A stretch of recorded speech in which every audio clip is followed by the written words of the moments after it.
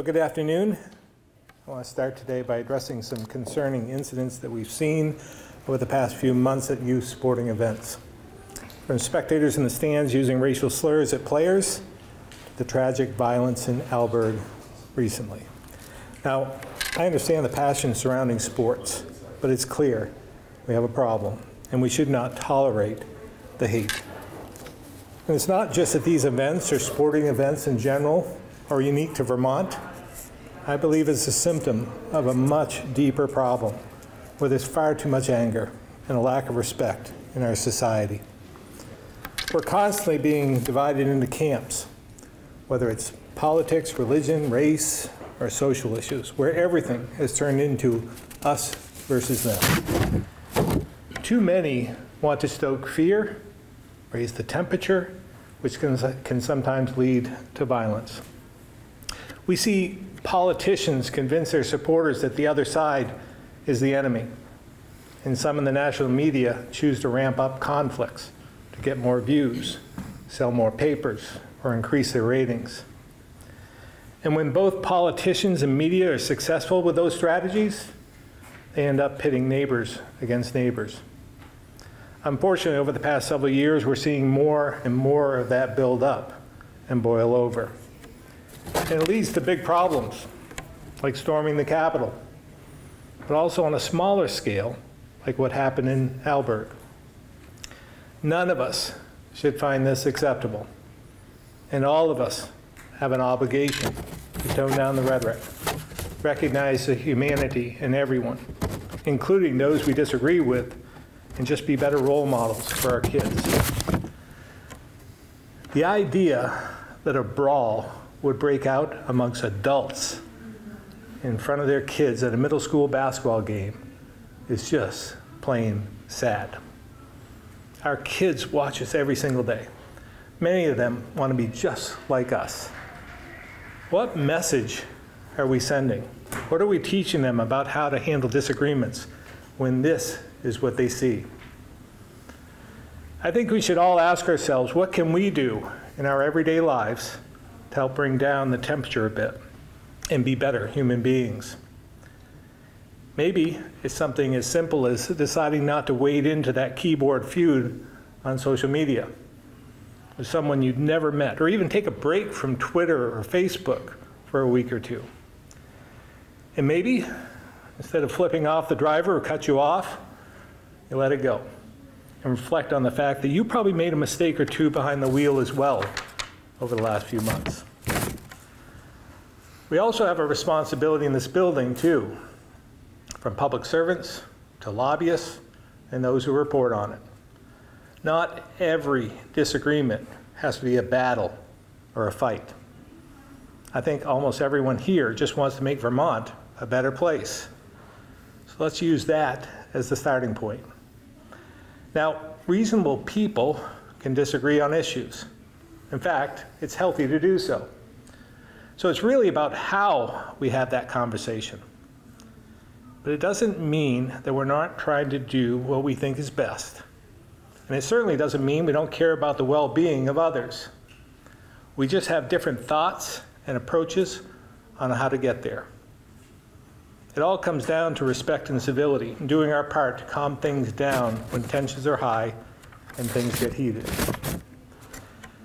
At the end of the day, whether you're a parent, coworker, public servant, or leader in any capacity, the things we say and do carry much more weight than we might think. So before acting, just remember, regardless of age, we're all role models for someone. And we all need to play our part. And it's never, never too late to be a better person. Lastly, Turning to state business, I want to share our thoughts about the Budget Adjustment Act that passed the House and is moving to the Senate. First of all, I'm grateful that there's a lot of agreement in it. But there are some areas we believe need further consideration, which Secretary Clouser will now cover. Thank you, Governor. Good afternoon. H145, the Budget Adjustment Act, or the BAA, includes dozens of adjustments to last year's budget, as well as time sensitive one time initiatives. The governor's recommended budget adjustment included approximately 57 million for one-time initiatives like municipal assistance grants, broadband state matching funds, additional funding for the Vermont Housing Improvement Program, and money to address the critical need for youth inpatient beds. Importantly, each of these recommendations were evaluated simultaneous to our work on the full FY24 budget. That means we considered all other priorities when making these decisions. The House passed budget adjustment, which, as the governor said, will now be taken up by the Senate, includes all of the governor's recommended adjustments to last year's budget and the governor's one time initiatives. It also includes almost $90 million in additional spending on numerous House initiatives and investments. The administration greatly appreciates that the House included all of the governor's initiatives, and we look forward to working with the legislature to put these funds to immediate work upon passage. The administration also recognizes that several of the smaller investments added by the House should be considered by the Senate.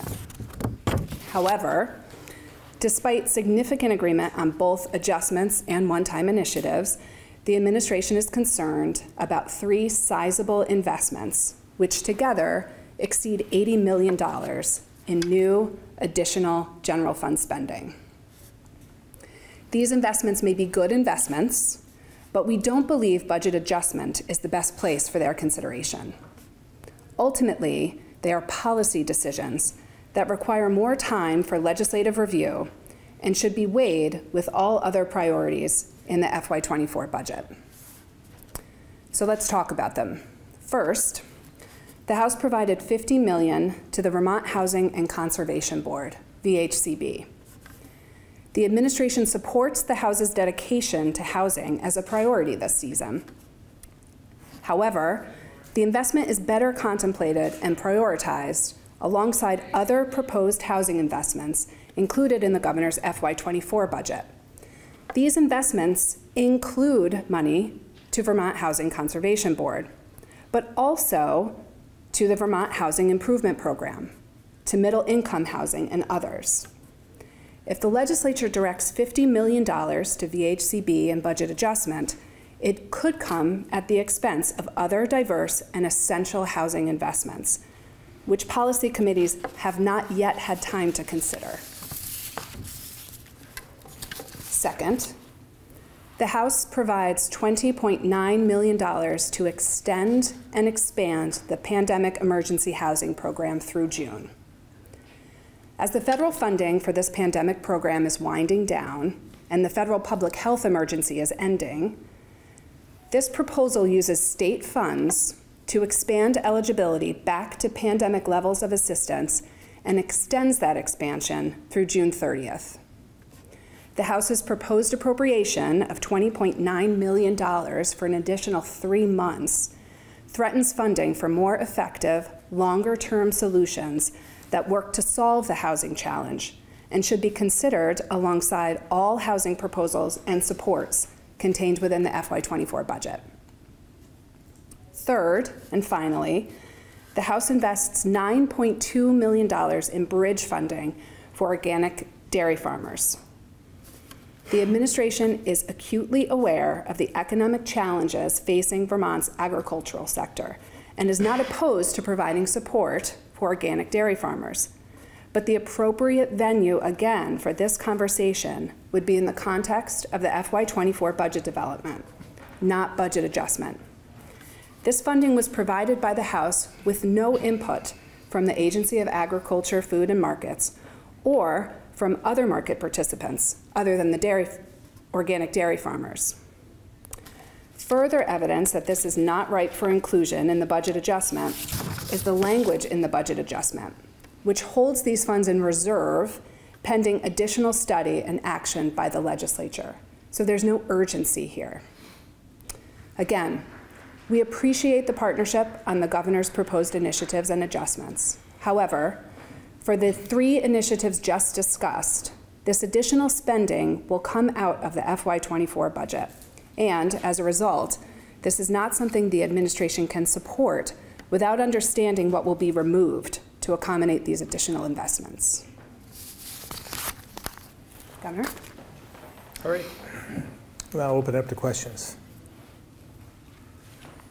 Governor, regarding the incident that we saw in Alburgh, this is hardly the first fight or the first conflict that we've seen at a, a, a sporting event. How, how do we change the culture, whether that be on, on sporting teams or for spectators too?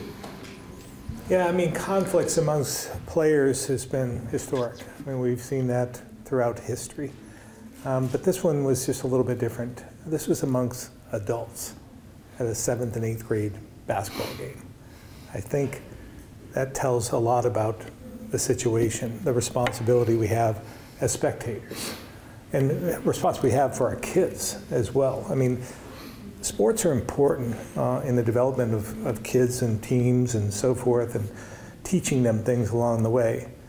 Um, I, this, this just wasn't the way to teach them anything except the wrong approach.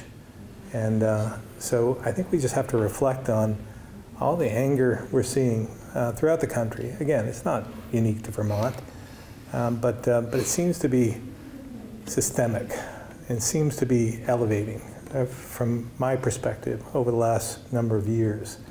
And it's, it's coming to a boiling point uh, that we need to all take a responsibility to tamp down.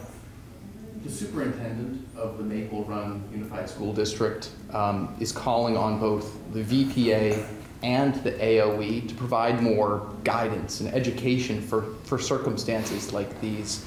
In your view, what, what role does, does the state play in, in providing that guidance? Yeah, I think, I think they have a responsibility to the, to the kids, uh, first of all, um, the students, the athletes, um, but as well making sure that the, the forum is safe.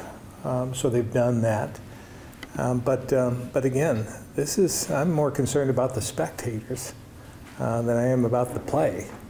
And uh, that's where, you know, things seem to be getting out of hand. And it's very difficult to manage. But again, all of us have responsibility and can do our part uh, to reduce that. In your opening comments, you also alluded to not necessarily this incident, but there's been incidents in the past that have been related to race, and there's been conflict surrounding that. Does Vermont, how, how have we been dealing with, with that? And, and does Vermont have a, a, a race problem? And if so, how do we address that? Again, I'm not sure that this, those incidents are, are unique to Vermont either. Uh, it feels as though uh, this has been systemic uh, across the country. Uh, but again, we can hold ourselves to a higher standard, and we've got to do so. And I think it comes down to education, it comes down to just basic respect and civility uh, amongst people. And, uh, and I think that we have, we're, we're poised and we're in a good position to do that. Uh, but, it, but again, it comes down to us as individuals, not somebody telling us to do this. It comes down to what's best for society, what's best for our kids, and what are we teaching them? Um, it's becoming increasingly evident that there's a fundamental difference of opinion between you and Democratic leaders in this building over whether it makes sense in this moment to raise taxes to fund new government programs. And, you know, as you have, you know, become aware of that yourself, as I'm sure you've been watching what they're doing, I'm wondering how that informs your approach to policy development and or general deliberations with, uh, with lawmakers. Again, I think it comes down to the fundamentals and basics, um, and it's financial basics from my perspective. I mean, I, I think we've talked a lot about uh, the possibility of a recession. I think there is going to be some sort of recession in the future. Um, hopefully, uh, it looks uh, like it may be a, a, soft landing, which would be great.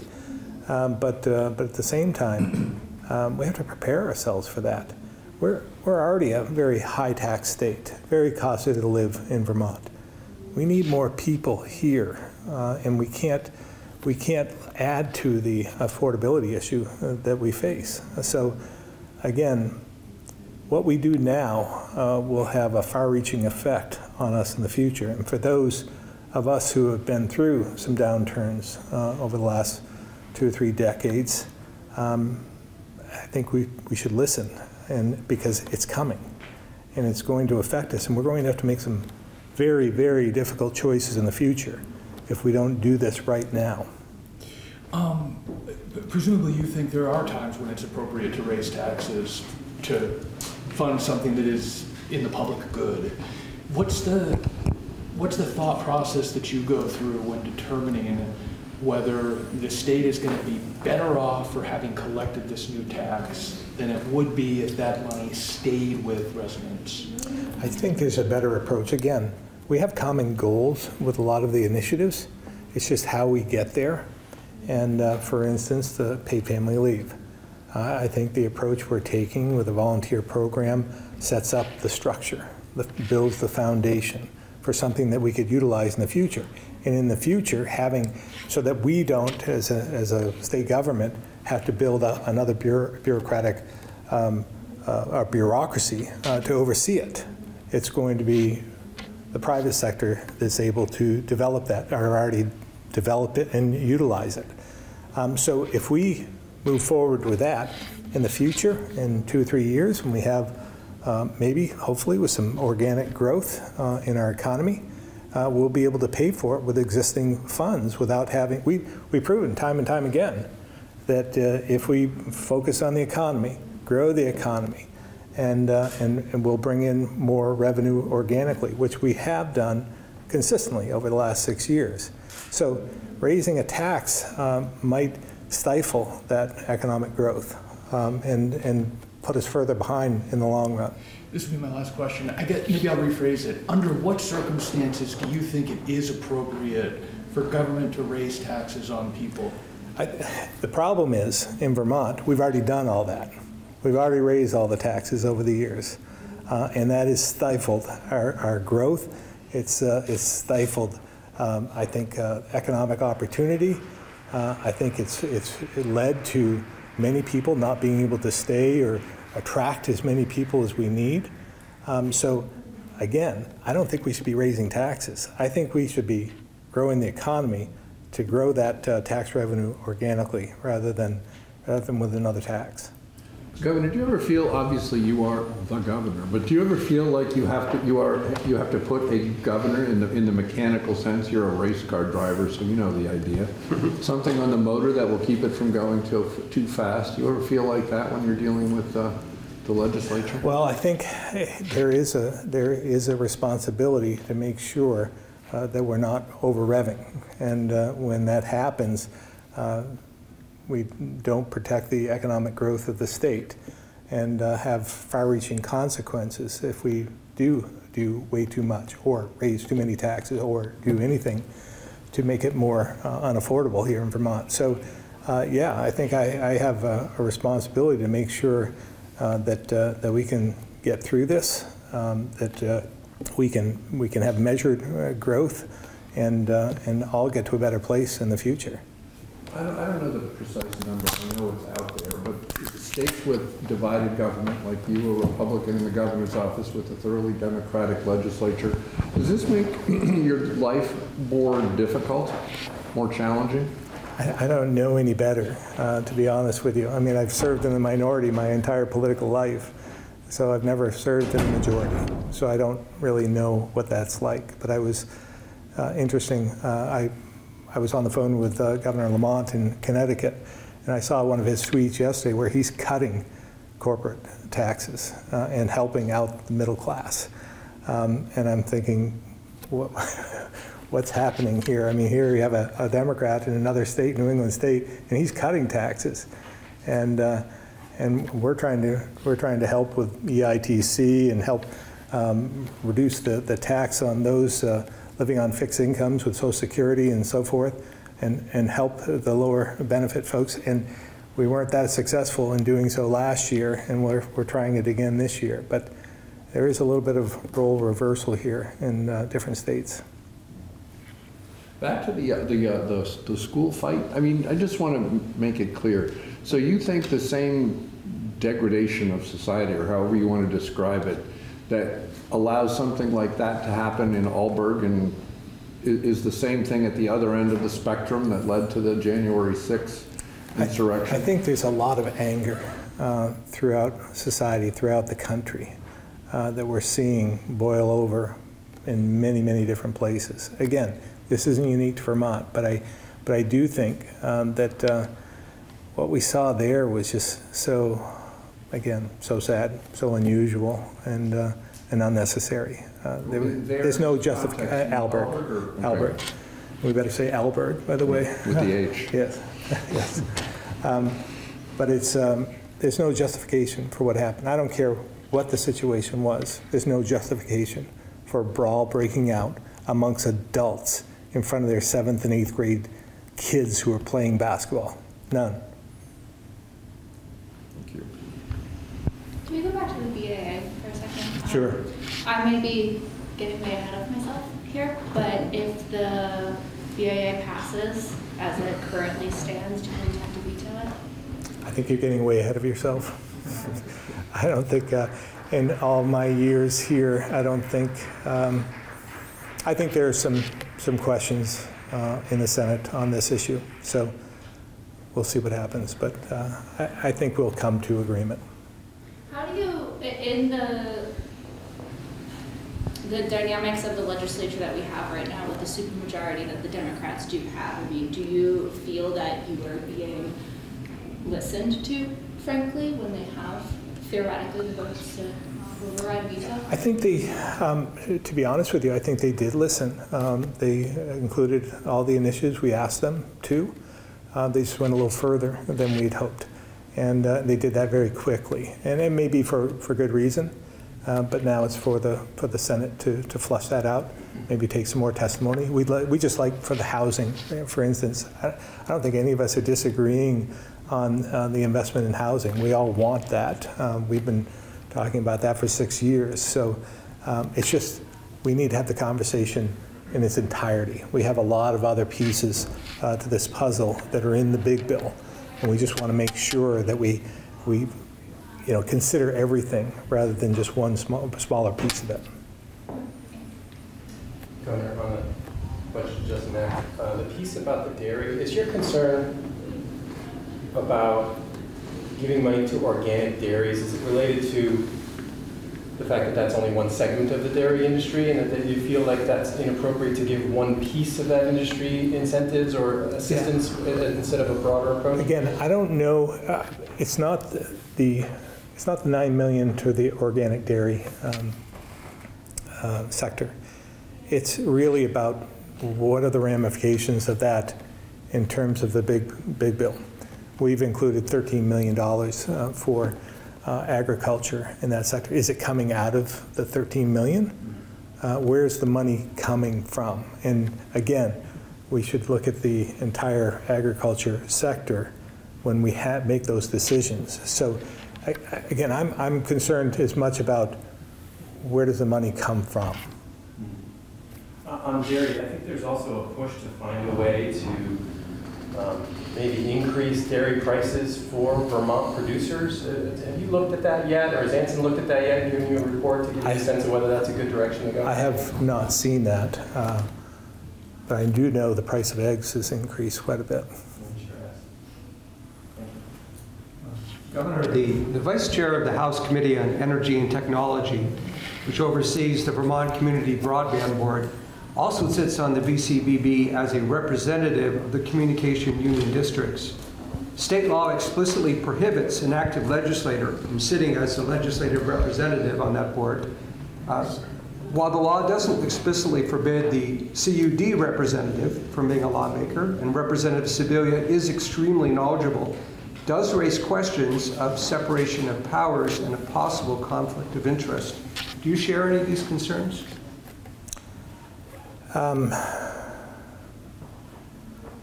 This is the first I've heard of this, um, but we have House and legislative ethics policies, and, uh, and I'm sure that they will react accordingly if they think there's a conflict of any sort. Uh, I believe that uh, the House leadership will, we'll take that into account. I also have a great deal of faith in uh, Representative Sibilia to do the right thing. So um, I don't- I don't have any question about her capabilities or um, her sitting on in the, in the House, uh, in the legislature. We, we have a, a number of uh, folks in the legislature uh, that have, you know, we're a small state, have some conflicts. Um, And I know in the Senate, we had, uh, we have um, a mechanism uh, to, to ask leave of the Senate uh, if you have any type of conflict, um, so that it's visible. And then the legislature or the Senate uh, votes on that. So I'm not sure uh, about the House rules, but, uh, but I think it it will be dealt with appropriately. Do you think the um, pandemic, the the lockdowns, and the uh, remote schooling, I know the educators are saying that this, children are having a real mental health crisis in part due to that. Um, Is that connected to this sort of, maybe what happened in Alburgh and the general mood of anger? I, I don't really have the answer to that, but I, but I do know uh, there are a number of mental health issues amongst many uh, throughout, uh, throughout um, every sector. Uh, And so I don't know if we can point right to that, but again, I don't believe the kids were the ones who started this one. This was adults. And adults should be able to, to handle that.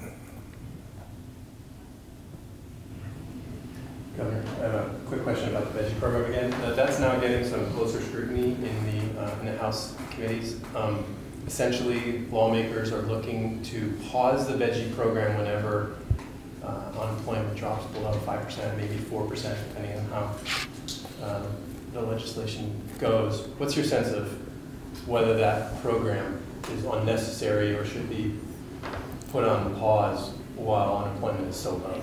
Yeah, I'm not, I'm not in agreement that it should be paused. Um, I do believe that there are improvements that could be made uh, in the program itself, maybe more transparency, um, maybe even uh, taking a look and making sure that we're investing in the right areas of the state, uh, more of the rural areas of the state that could use some economic help.